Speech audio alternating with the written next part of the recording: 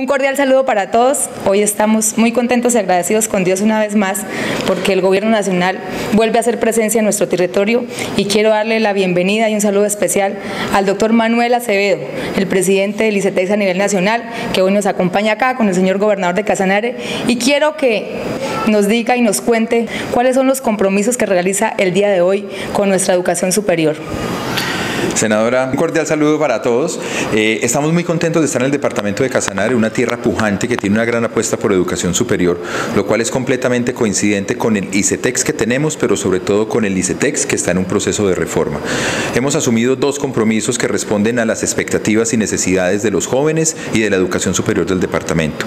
El primero de ellos, un cambio sustancial en la cercanía, en la atención y en la manera en que nuestra oficina en la ciudad de Yopal presta un servicio a los jóvenes que están en el departamento y en los diferentes municipios.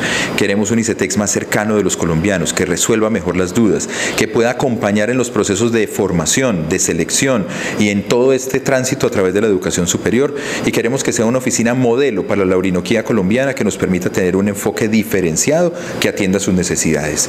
Y el segundo es que el ICETEX hace una administración de fondos. Algunos de estos fondos son fondos de la región, son fondos del departamento de Casanare. Con el señor gobernador y con su equipo hemos acordado abrir unas mesas de trabajo que nos permitan optimizar esos fondos y de alguna manera también poder ampliar de esa manera la cobertura. Es decir, uniendo recursos que ICETEX tiene en el desarrollo de sus actividades cotidianas con aquellos recursos que se van a contemplar en el marco del plan de desarrollo departamental, podamos aumentar y sumarnos a ese reto que el señor gobernador ha trazado y es aumentar la cobertura.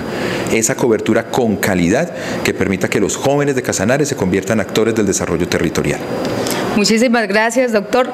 Igualmente queremos dar una buena noticia a todos ustedes y que sea el gobernador mismo que les cuente a ustedes qué va a hacer gobernador usted hoy, que sé que va a integrar esa mesa directiva del ICETEX, pero quiero que usted sea el que le cuente a todos los casanareños. Bueno, cordial saludo. Muchísimas gracias, doctor Manuel, por acompañarnos al territorio. Doctora Amanda Rocío González, como siempre, presta eh, en ese apoyo institucional desde el gobierno nacional hacia el departamento de Casanare.